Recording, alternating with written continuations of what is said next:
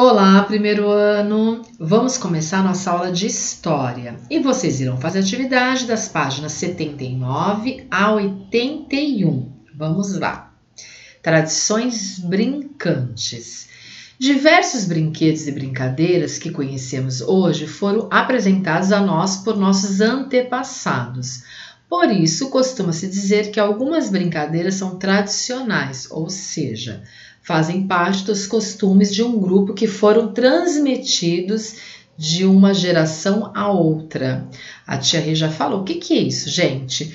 Uma, a gente fala que são brincadeiras antigas, né?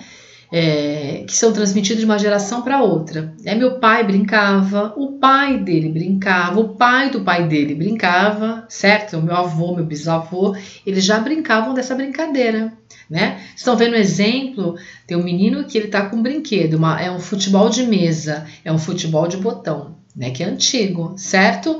Há também jogos e brincadeiras mais recentes. Isso porque o ser humano nunca perde a capacidade de fantasiar e criar novas formas de se divertir e brincar, né? Tem jogos que são de agora, são mais atuais que eu não conhecia, no meu caso, que eu não conhecia e que não são antigos, certo? Que não foram passados de geração para geração, foram criados agora, ok, turminha?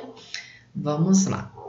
Agora, na página 80 e 81 são atividades. Número 1. Observe as brincadeiras a seguir e faça o que se pede.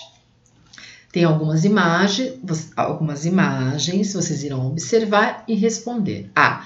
Pinte as brincadeiras que você conhece e é das quais costuma brincar. Então, vocês vão pintar. B. Circule as brincadeiras das quais você ainda não brincou. C. Em uma conversa com um adulto que mora com você, pergunte se ele costumava praticar alguma dessas brincadeiras na infância. Se sim, faça um X nas brincadeiras mencionadas por ele. D. As brincadeiras retratadas foram inventadas no passado, de antigamente, ou agora, no presente? Aí vocês vão responder, tá bom? Número 2. Vários artistas registraram brincadeiras em suas pinturas. Observe a pintura, vão observar essa pintura e vão responder A. Qual é o nome da brincadeira retratada? É uma pergunta. B. Essa pintura é um registro do passado ou do presente? C. O que, o que nessa imagem indica que ela é um registro na, da época assinalada na resposta anterior? Como vocês chegaram a essa conclusão que elas são ela é do passado, do presente ou do presente? Certo? A C vocês vão responder oralmente para a tia Rê, certo? A 3 reorganize as letras e descubra o nome de duas brincadeiras tradicionais. Hum, vamos lá, vamos pensar, turminha.